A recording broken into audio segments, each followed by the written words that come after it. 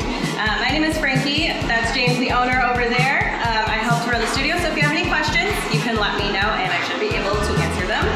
Ignore the cameras. You're just here to have fun, right? So we set this up as kind of a warm-up. We'll have fun, let the creativity flow um, to get started. So we've got canvases with something pre-sketched on the other side for you. Please, you know, do what you want in that space. Um, make sure that you fill in your pre-sketch and then